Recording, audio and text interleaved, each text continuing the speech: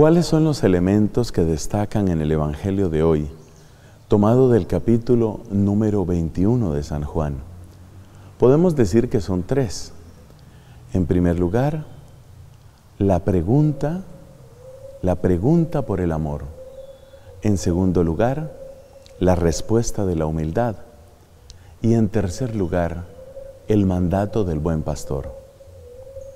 La pregunta, la respuesta el mandato. Miremos por un momento cada uno de estos elementos. La pregunta por el amor. Cristo, con palabras muy similares, le repite, le dice tres veces la misma pregunta a Pedro.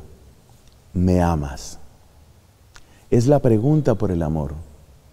No es una pregunta que se da por descontada. Cristo no presume la respuesta y aunque la sepa, considera que es importante que se diga, que la diga la persona y la escuche en sus oídos, pero también que la diga la persona y se escuche en la asamblea. Me amas. ¿Por qué? Porque todo encargo pastoral tiene que tener una base de caridad.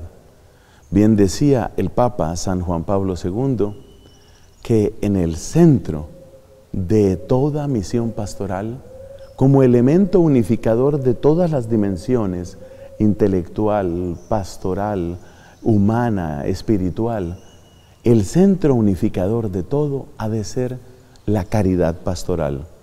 Y por eso la pregunta por el amor es una pregunta necesaria, podríamos decir, una pregunta inevitable.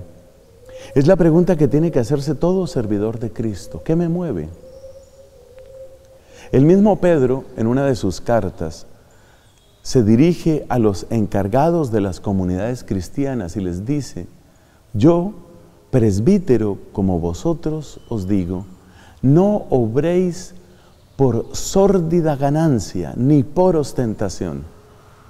No ha de ser la ganancia sórdida, sucia, sucia porque es demasiado pequeña y pobre y egoísta comparada con la ganancia celestial.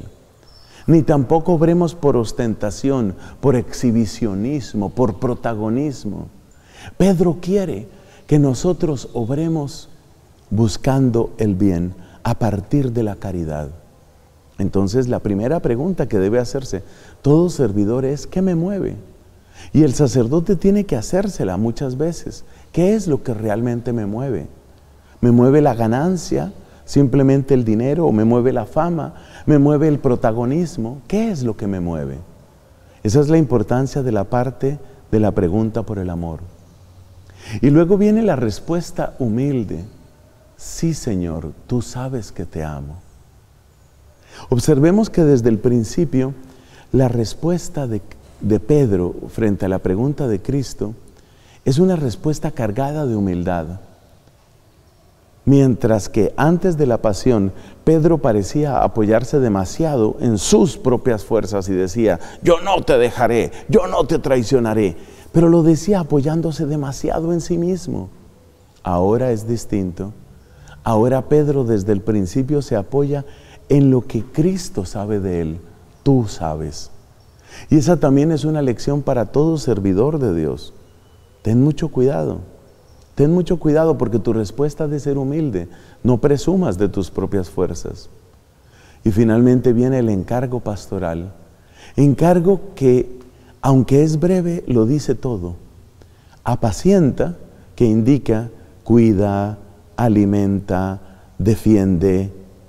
¿A quiénes? Mis ovejas, dice Cristo. Y con verdad lo dice son ovejas de Cristo porque fue Él quien las adquirió al altísimo precio de su propia sangre. De manera que el mensaje de Cristo tiene que estar presente en nosotros, en todos, pero muy especialmente en quienes somos servidores del Evangelio. Una pregunta, una pregunta por el amor, una respuesta de humildad y la conciencia de que las ovejas son de Cristo.